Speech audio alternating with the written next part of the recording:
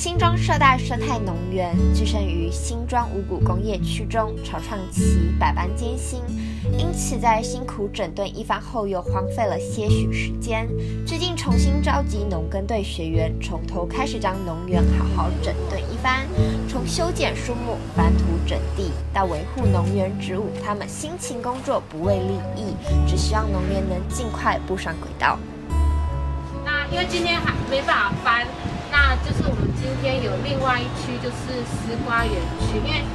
后面那个新的本来被藤蔓布满的那个红架区啊，加拿大要把它整理出来。那我们今天在想说，有没有可能我们这一区来做一些什么这样子？先把这个通通好搬到外面去，把这里的土要先清一下，哎呀，把这挖一下，把这个土往那边填，哦，这里挖一条沟的土填到那边去。这里头第一期的是最老的，有种菜班的时候就是招了三十个人，会比较人力，然后就是开始一学期一学期就开花一块地方一块地方慢慢的在开花。对对对，所以跟我们刚来的时候全部都是牧草，还不是牧草，都是芒草啊，所以对菜啊不太熟悉啊。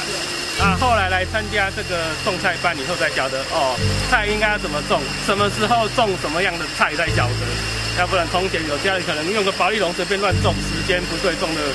都不好嘿。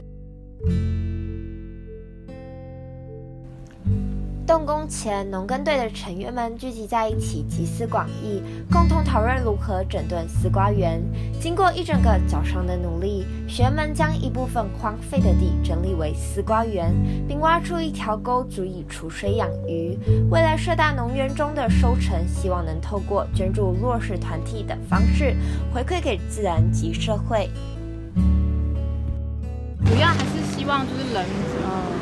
是往永续生活的方向迈进。那包括像之前我们可能有飞熊老师的插花课，那或者是也有芳香芳香课，那也有清草课程。那我们之后也会可能会有一些举办一些工作坊，比如说像是懒懒工作坊。那我们也有邀请到之后会有一位追踪师来我们社大做演讲这样子。那主要就是希望让大家知道说，哎，我们跟大自然相处。